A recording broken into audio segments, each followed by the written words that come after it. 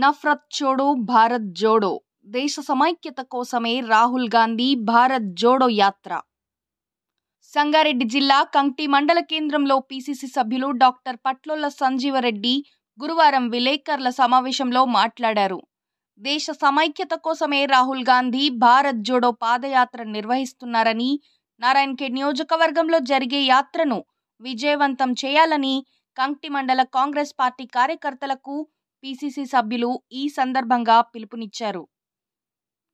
సమావేశంలో మాట్లాడుతూ బీజేపీ మతతత్వ విధానాలను వ్యతిరేకిస్తూ కాంగ్రెస్ పార్టీ ఆధ్వర్యంలో భారతదేశాన్ని ఏకతాటిపైకి తీసుకువచ్చేందుకు కృషి చేస్తున్నామని తెలిపారు. కార్యక్రమంలో డీసీసీ ప్రధాన కార్యదర్శి చంద్రశేఖర్ రెడ్డి నియోజకవర్గ యూత్ కాంగ్రెస్ ఉపాధ్యక్షురాలు పల్లవి పరశురాం రాథోడ్ మండల కాంగ్రెస్ పార్టీ నాయకులు కార్యకర్తలు పాల్గొన్నారు. మన డాక్టర్ సంజయ్ రెడ్డి గారికి శేఖర్ పట్ల గారికి ప్రజలందరికీ నమస్కారం. ఇక్కడ కూర్చున్న వాళ్ళందరికీ నమస్కారము. మన రాహుల్ గాంధీ భారత్ జోడో యాత్ర గురించి మన దగ్గర రావడం జరుగుతుంది. మనం అందరం భారీ ఎత్తున వెళ్ళి అందరూ భారత్ జోడో యాత్ర సక్సెస్ చేద్దామని కోరుకుంటున్నాం.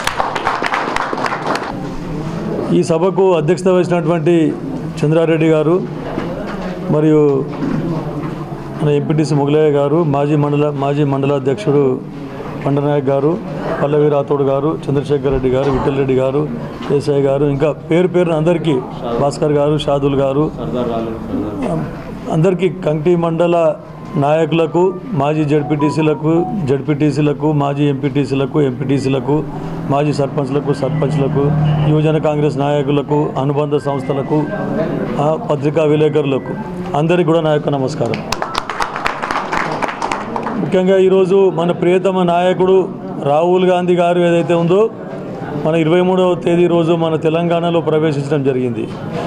ఈ భారత్ జోడో పాదయాత్ర కన్యాకుమారి నుంచి కాశ్మీర్ వరకు సుమారు మూడు వేల ఆరు వందల కిలోమీటర్లు ఇది నన్ను నడుస్తూ ఉన్నాడు. ఎందుకంటే ప్రజా సమస్యలు తెలుసుకోవడానికి మరియు కేంద్ర రాష్ట్ర ప్రభుత్వాలు అన్ని రాష్ట్రాలలో ఏమేమి ఏవైతే ఉన్నాయో మతతత్వ పార్టీలు వచ్చినాయి ఈరోజు. మన సెక్యులరిజాన్ని మొత్తం మంట రాసి మతతత్వాలను రెచ్చగొట్టి కులాలను రెచ్చగొట్టి ఈరోజు పబ్బం గడుపుకుంటా ఉన్నారు. అదొకటే కాకుండా దేశాన్ని మొత్తం ఆర్థికంగా నిర్వీర్యం చేయడం జరిగింది. ఈ సమస్యలన్నిటిని కూడా ప్రజల దృష్టికి తీసుకొని పోవడానికి మన ప్రియత నాయకుడు రాహుల్ గాంధీ గారు ఈరోజు కన్యాకుమారి నుండి కాశ్మీర్ వరకు ఈ భారత్ జోడో యాత్ర చేపట్టడం జరుగుతూ ఉన్నది. దీంట్లో భాగంగా తమిళనాడులో స్టార్ట్ చేసి తమిళనాడు కేరళ కర్ణాటక ముగించుకొని ఇరవై మూడవ తేదీ రోజు మన తెలంగాణలో ఎంటర్ అయిండు. మళ్ళీ మధ్యాహ్న గ్యాప్ రావడం వల్ల మన మల్లికార్జున ఖర్గే గారి ప్రమాణ స్వీకారం కొత్తగా ఎన్నిక కాబట్టి ఏఐసిసి ప్రెసిడెంట్ ఎన్నిక కాబడ్డారు. ఆయన ప్రమాణ స్వీకారం ముగించుకొని మళ్ళీ ఈరోజు పాదయాత్ర స్టార్ట్ చేయడం జరిగింది. మన సంగారెడ్డి జిల్లాలోకి మనకు రెండవ తేదీ రోజు సాయంత్రం బిహెచ్ఎల్ దగ్గర ఆ రోజు మన సంగారెడ్డి జిల్లాలో అడుగు పెడతా ఉన్నారు. ఆ సంగారెడ్డి జిల్లా నుండి సంగారె పటంచెరు నియోజకవర్గం సంగారెడ్డి నియోజకవర్గం తర్వాత అందోల్ నియోజకవర్గం తర్వాత మన నారాయణఖేడ్ నియోజకవర్గంలోకి ఆరవ తేదీ ఉదయం ఆరు గంటలకు అల్లాదుర్గ్ పోలీస్ స్టేషన్ నుండి మన పాదయాత్ర కొనసాగించడం జరుగుతుంది. ఐదవ తేదీ రాత్రి అందులో మీటింగ్ ముగించుకొని అల్లాదూర్ క్రాస్ రోడ్లో వచ్చి బస చేసి పొద్దున ఆరు గంటలకు అల్లాదుర్గ్ పోలీస్ స్టేషన్ నుండి స్టార్ట్ చేయడం జరుగుతుంది. మన శంకరంపేట మండలంలో కూలపల్లిలో ఎంటర్ అయ్యి శంకరంపేట మీదుగా కమలాపూర్ మీదుగా తర్వాత నిజాంపేట్ బాచపల్లి ఇవన్నీ కవర్ చేసుకుంటూ మాసాన్పల్లి క్రాస్ రోడ్లో మళ్ళీ క్రాస్ పాయింట్ మీటింగ్ సాయంత్రం ఏడు గంటలకు మీటింగ్ పెట్టి మనకు అక్కడ దీనికి వెళ్ళడం జరుగుతూ ఉన్నది. ఇది కొడబ్గల్ కామారెడ్డి జిల్లాకు. అయితే దీని ముఖ్య ఉద్దేశం ఏంటంటే ఈరోజు మన కాంగ్రెస్ పార్టీ ఇన్ని రోజులు ఇన్ని సంవత్సరాలు పరిపాలించింది భారతదేశాన్ని.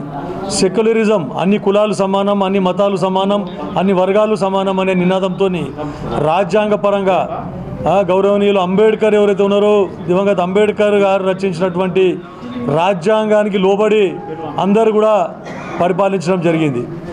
మరి ఈరోజు ఏం చేస్తూ ఉన్నారు? మన కాంగ్రెస్ మన భారతదేశం అంటేనే భిన్నత్వంలో ఏకత్వం. అన్ని సమానత్వం పాటించి అన్ని కులాలు మతాలు అన్ని వర్గాలు కూడా సామరస్యంగా ఉండి ఒక్క తాటి మీద ఉండి ఇన్ని రోజులు మనము నాయకులు పరిపాలించడం జరిగింది. కానీ ఈరోజు కొన్ని రాజకీయ శక్తులు కొన్ని పార్టీలు ఏవైతే ఉన్నాయో మతాలను రెచ్చగొట్టి కులాలను రెచ్చగొట్టి వారి పబ్బం గడుపుకొని కేవలం ఓట్ల రాజకీయం చేస్తూ ఉన్నది తప్ప ఏం లేదని చెప్పి చెప్తా ఉన్నాను.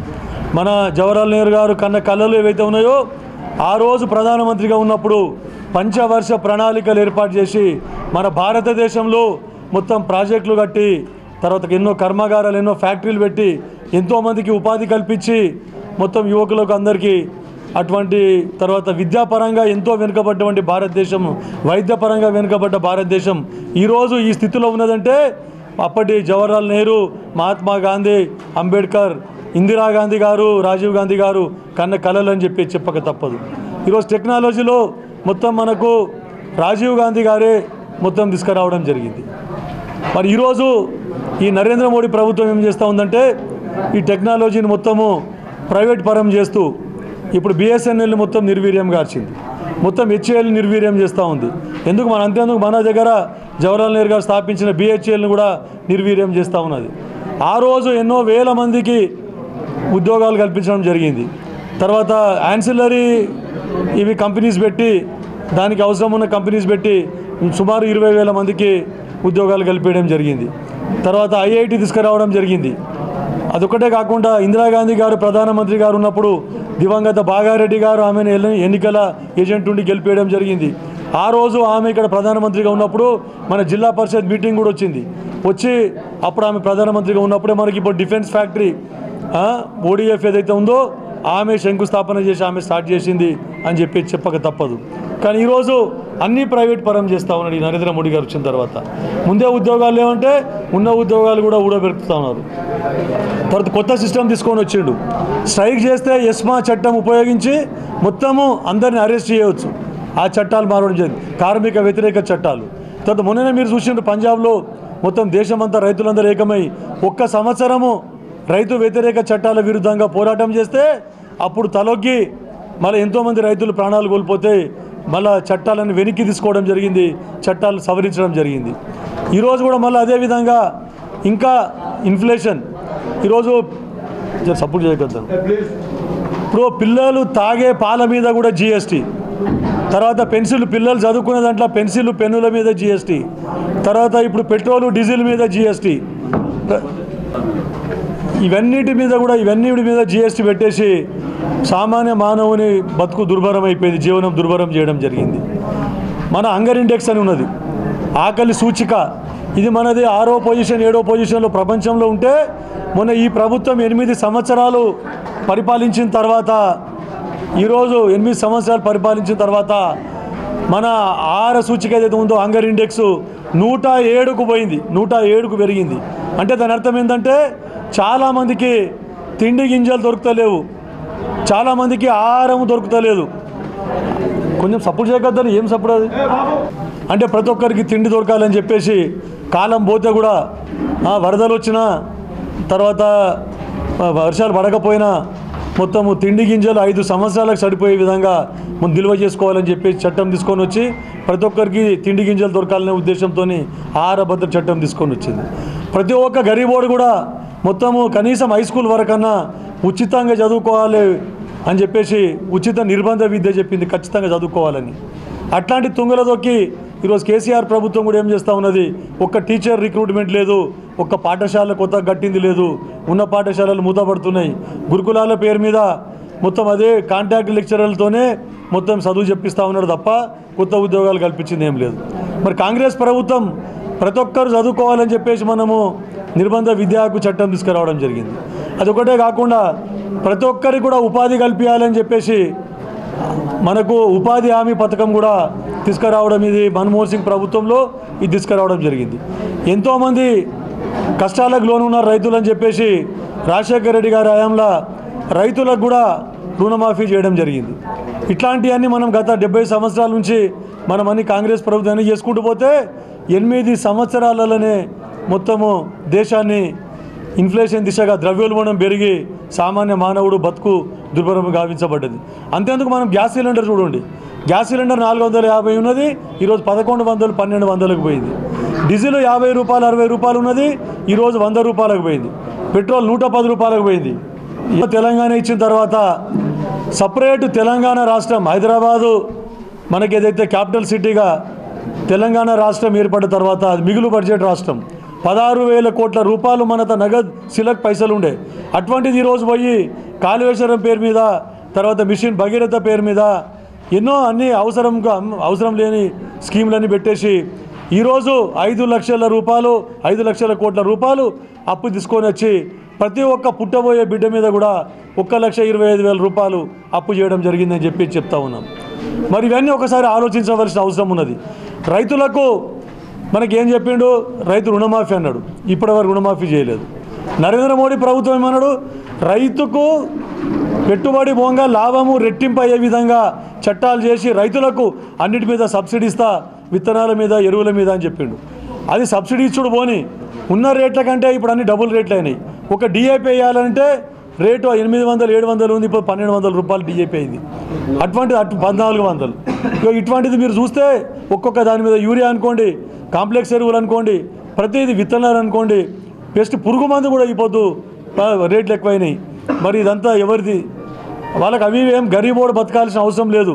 కేవలం ఆదానీలు అంబానీలకు అన్ని ప్రైవేటైజేషన్ చేసి. ఎప్పుడో ఇండియన్ ఎయిర్లైన్స్ అని ఉంటే ఒక సామాన్య మానవుడు ప్ర విమానంలో ప్రయాణం చేయాలంటే ఇండియన్ ఎయిర్లైన్స్ ఉండే. అటువంటిది పోయి ఈరోజు దాన్ని కూడా ప్రైవేట్ పరం చేసాడు. ఇక కేసీఆర్ది అయితే మునుగోడు ఎలక్షన్లు మీరు చూస్తూ ఉన్నారు. మునుగోడు ఎలక్షన్ల బీజేపీ తర్వాత టీఆర్ఎస్. ఒక్క ఓటుకు ఇరవై వేలు ఇరవై ఐదు వేలు ఇచ్చి కొట్టామని చెప్తా ఉన్నారు. ఇక మద్యం మొత్తం ఎక్కడెక్కడ మన తెలంగాణలో అయితే గల్లీ గల్లీకి ప్రతి ఊర్లో ఐదు ఆరు బెల్ట్ షాపులు పెట్టిండు. మరి ప్రతి ఒక్కరికి తాపుకుంటా పైసలు ఇచ్చుకుంటా అక్కడ ఎలక్షన్ కొట్లాడుతూ ఉన్నారు. కాంగ్రెస్ పార్టీ పాపం టికెట్ ఇచ్చుడు ఎక్కువ అయిపోయాయి పాపం టికెట్ పాపం ఆమెకి ఇయ్యమనంటే కూడా అందరు సీనియర్లు చెప్పి రాహుల్ గాంధీ దగ్గర గోవర్ధన్ రెడ్డి సాబ్ బిడ్డ వెనకటి నుంచి కాంగ్రెస్ అయినా అని చెప్పేసి అందరు చెప్తే ఆమెకు అతి కష్టం మీద ఆమెకు టికెట్ ఇచ్చింది. టికెట్ ఇచ్చిన తర్వాత అందరు కలిసి పోయి ఆడ కొట్లాడితే ఈరోజు టీఆర్ఎస్ బీజేపీలు మొత్తము మద్యం ప్రవహింపజేసి మొత్తం పైసలు ఇచ్చి కొనుక్కుంటా ఉన్నారు అందరిని. మన దగ్గర నారాయణఖేడ్ బై ఎలక్షన్లో ఎట్లయితే హరీష్ రావు మభ్యపెట్టి అందరికీ ఐదైదు లక్షలు ఇచ్చి రెండు రెండు లక్షలు ఇచ్చి ఎంపీటీసీలకు జడ్పీటీసీలకు సర్పంచ్లకు కొంతమందికి డబ్బులకు లొంగకపోతే భయభ్రాంతులకు గురి చేసి ఎట్లయితే కొన్నాడో ఈరోజు మునుగోడ్ల పరిస్థితి అట్లనే ఉన్నది. తర్వాత పాల్వాయి గోవర్ధన్ రెడ్డి ఎట్లనో మీకు అందరికీ తెలుసు. మన కిషన్రెడ్డి సాబ్ నాయనకు చాలా బాగా దగ్గర బాగారెడ్డి సాబ్ దగ్గర. బాగారెడ్డి సాబ్కు గోవర్ధన్ రెడ్డి సాబ్కు ఇందిరాగాంధీ దగ్గరికి ఢిల్లీలో పోవాలంటే అపాయింట్మెంట్ అవసరం లేకుండే. డైరెక్ట్ బాగారెడ్డి సాబ్ వచ్చిండంటే గోవర్ధన్ రెడ్డి సాబ్ వచ్చిండంటే డైరెక్ట్ ఇందిరాగాంధీ ఆఫీస్లో పిఏలు గిఏలు ఎవరు అడ్డు చెప్పకుండా డైరెక్ట్ ఇందిరాగాంధీకి చెప్పి వాళ్ళకి కల్పిస్తుంది. అటువంటి పరిస్థితి అటువంటి కాంగ్రెస్లో ఉన్నప్పుడు అటువంటి నాయకులు ఉండ్రి. కానీ ఈరోజు మన చేతులారా కాంగ్రెస్ పార్టీ మనము పాటు చేసుకుంటా ఉన్నది. ఈరోజు కూడా మునుగోడ పరిస్థితి అక్కడ ఎట్లయిపోయిందంటే మనం పైసలు పెట్టలేని పరిస్థితి. గోవర్ధన్ రెడ్డి గారంటే మంచి పేరు. ఏం సంపాదించలేదు. న్యాయంగా పనిచేసిండు. ప్రజల పని చేసిండు ప్రజలకు అభివృద్ధి చేసిండు. కానీ ఈరోజు మొత్తం పైసద రాజ్యం అయిపోయింది. కాబట్టి ఇవన్నీ మనం ప్రజలు ఆలోచించవలసిన అవసరం ఉన్నది. ఇవన్నీ సమస్యలు ఏవైతే ఉందో మన పార్టీ ఇప్పుడు మన దేశాన్ని బలోపేతం చేయడానికి భారతదేశంని మళ్ళా వెనకట్లాగా అన్ని కులాలు మతాలు సమానం అందరూ బడుగు బలహీన వర్గాలందరూ కూడా సమానంగా జీవించాలి. అందరికి ఒకటే హక్కు అందరికి సమాన హక్కులు ఉండాలని భారత రాజ్యాంగం ప్రజ అంబేద్కర్ ఏదైతే చెప్పిండో దానికి తగిన విధంగా మనము మరొకసారి భారతదేశాన్ని ఒక్క తాటి మీదకి దేవాలే అఖండ భారతాన్ని ఏర్పరచాలి అన్ని వర్గాలను కలపాలనే ఉద్దేశంతో ఈరోజు రాహుల్ గాంధీ గారు ఈ భారత్ జోడో యాత్ర చేపట్టడం జరిగిందని చెప్పి చెప్తా ఉన్నాం. మీరు చూస్తూ ఉన్నారు కేంద్రంలో రైతులు సంవత్సరము చేస్తే సంవత్సరము స్ట్రైక్ చేస్తే సమ్మె చేస్తే మొత్తం జైల్లో వేస్తారు ఇక రాష్ట్రంలో అయితే చెప్పే పరిస్థితి లేదు. సార్ మా ఊరికి రోడ్ మంచిగా లేదనంటే ఎమ్మెల్యే వచ్చినప్పుడు మా ఊరికి రోడ్ మంచిగా లేదని అడిగితే తీసుకుపోయి పోలీసు వాళ్ళు తీసుకొని పోయి పోలీస్ స్టేషన్ లేచి కేసు పెడతారు. మా ఊళ్ళో పెన్షన్ రాలేదు సార్. మా ఊళ్ళో కళ్యాణ లక్ష్మి రాలేదంటే తీసుకుపోయి కేసులు పెట్టి పోలీసు వాళ్ళతోని పోలీస్ స్టేషన్లో కూర్చోబెడతారు. ఇది పరిస్థితి. పోలీసు వాళ్ళు మొత్తం ప్రైవేట్ సైన్యం అయిపోయింది టీఆర్ఎస్కు. ఎక్కడ చూసినా కాంగ్రెస్ వాళ్ళు తీసుకొని పోతే అప్లికేషన్ చెత్తబుట్టల పడేస్తున్నారు. అదే టీఆర్ఎస్ వాళ్ళు తప్పుడు అప్లికేషన్ తప్పుడు కంప్లైంట్ తీసుకొని పోతే కూడా అక్కడ పెడతా ఉన్నారు. అంటే దీని అర్థం ఏముందంటే ప్రజాస్వామ్యం లేదు. మనకు భారత రాజ్యాంగం కల్పించింది ప్రజాస్వామ్యం. మనకు అడిగే హక్కు ఉన్నది. మనకి ఏదైనా అన్యాయం జరిగినప్పుడు మనకి ఏదైనా సమస్య ఉన్నప్పుడు నాయకులను నిన్నదీసే మనకు హక్కు కల్పించింది భారత రాజ్యాంగం. అంబేద్కర్ గారు దాంట్లో మనకు కల్పించింది. రిజర్వేషన్లు అన్ననే కల్పించింది. దానిలో భాగంగానే మన రాజీవ్ గాంధీ గారు ఎప్పుడైతే ఉన్నారో ఆ రోజు మనకు సర్పంచ్లందరికీ హక్కులు కల్పించారు సర్పంచ్లకు ఫండ్స్ ఉంటలేవని చెప్పేసి ఆ రోజు జవహర్ రోజ్గార్ యోజన అని చెప్పేసి చక్కగా సర్పంచ్ అకౌంట్లకు పైసలు పంపించడం జరిగింది. అదే ఈ రోజు కూడా థర్టీన్త్ ఫైనాన్స్ ఫోర్టీన్త్ ఫైనాన్స్ అన్ని ఫైనాన్స్ విధంగా స్టేట్ ఫైనాన్స్ అన్నీ కూడా ఫండ్స్ డైరెక్ట్ వాళ్ళ అకౌంట్లకు పోతా ఉన్నాయి ఈరోజు సర్పంచ్ల అకౌంట్లకు. రాహుల్ గాంధీ గారు చేసింది అదే రాజీవ్ గాంధీ గారు చేసింది ఇది. మరి డెబ్బై మూడు డెబ్బై నాలుగవ రాజ్యాంగాన్ని సవరించి లోకల్ బాడీస్ల స్థానిక సంస్థలలో అందరికీ సర్పంచులకు ఎంపీటీసీలకు జడ్పీటీసీలకు మండల అధ్యక్షులకు జిల్లా పరిషత్ అధ్యక్షుల చైర్మన్లకు జడ్పీటీసీలకు అందరికి కూడా రాజ్యాంగపరంగా మనకు రిజర్వేషన్లు కల్పించింది కూడా మన రాజీవ్ గాంధీ అని చెప్పేసి స్వర్గీయ రాజీవ్ గాంధీ. అదొకటే కాకుండా మహిళలకు కూడా ముప్పై మూడు శాతం మహిళలకు ఆ రోజు స్థానిక సంస్థలలో మన రిజర్వేషన్లు కల్పించిందంటే మన రాజీవ్ గాంధీ గారు. మరి ఇన్ని అందరు సమానంగా ఉండాలి. కానీ ఈరోజు లోకల్ బాడీస్ నిర్వీర్యం. ఈరోజు ఎంతోమంది ఉపాధి హామీలో పనిచేసిండ్రు సర్పంచులు పనిచేసిండ్రు. పనిచేసే వాళ్ళకి శ్మశాన వాటికలకు కానీ డంపింగ్ యార్డ్లకు కానీ తర్వాత ఇవి హరితవనాలకు కానీ ఈరోజు కూడా బిల్లులు లేక ఎంతోమంది ఈ టీఆర్ఎస్ ప్రభుత్వంలో సర్పంచులు ఉరేసుకొని చనిపోతూ ఉన్నారు. మరి ఆ రోజు రాజీవ్ గాంధీ గారు చేసింది మొత్తం నిర్వీర్యం చేసి సమానత్వం హక్కు లేకుండా చేసి తర్వాత తీసుకొని పోయేదని అడిగితే పోలీస్ స్టేషన్లో కూర్చోబెట్టి కేసులు బనాయిస్తూ ఉన్నారు. వీటన్నిటికీ వ్యతిరేకంగా రాజ్యాంగ ఏదైతే తుంగలో దొక్కి ప్రజాస్వామ్యాన్ని కూనీ చేసి అప్రజాస్వామికంగా పరిపాలిస్తున్నాయో కేంద్ర రాష్ట్ర ప్రభుత్వాలు ప్రజా వ్యతిరేక విధాలను ఎండగడుతూ మనందరికీ ప్రజలను ఉత్తేజపరచాలి. అందరి కార్మికులను రైతులను విద్యార్థులను నిరుద్యోగులను అందరికీ కూడా రైతు అందరికీ కూడా అన్ని వర్గాల వారిని ఉత్తేజపరిచి మరొక్కసారి సమానత్వము గురించి కొట్లాడాలి. రాజ్యాంగ రాజ్యాంగపరంగా పరిపాలించాలి ప్రభుత్వాలని చెప్పేసి ఒత్తిడి తీసుకురావాలనే ఉద్దేశంతో ఈరోజు మన ప్రియతమ నాయకుడు రాహుల్ గాంధీ గారు ఈ భారత్ జోడో పాదయాత్ర చేపట్టడం జరిగింది. కాబట్టి మన నారాయణకే నియోజకవర్గం అంటే మొదటి నుంచి కూడా చాలా కంచుకోట. అటువంటిది మనం ఈరోజు రాహుల్ గాంధీ గారు వస్తున్నారని అంటే మనము అత్యధిక సంఖ్యలో కనీసం మన నియోజకవర్గం నుండి ఒక యాభై వేలకు తగ్గకుండా అంటే ఎక్కడెక్కడ మనము ఎక్కడెక్కడ ఏ మండలాలు పోవాలో మనం తర్వాత మనం డిస్కస్ చేద్దాము. అత్యధిక సంఖ్యలో యాభై వేల పైకి మనమందరం పోయి ఆయన రాహుల్ గాంధీ గారి అడుగులో అడిగేసి ఈ పాదయాత్రను దిగ్విజయం చేయాలని చెప్పేసి కోరుకుంటూ సెలవు తీసుకుంటున్నాను. రెండు స్లోగన్స్ ఇచ్చింది మనకు. నఫరత్ చోడో భారత్ జోడో. ద్వేషం వద్దు దేశం ముద్దు అనే స్లోగన్లు మనకి ఇచ్చింది దాని ప్రకారమే మనము ఈ భారతదేశాన్ని అఖండ భారతదేశంను అన్ని వర్గాలను ఒకతాటి మీద తీసుకొచ్చే విధంగా కృషి చేయాలని చెప్పి చెప్తా ఉన్నాను hi this is Swathi Dixit please subscribe to SKS fly TV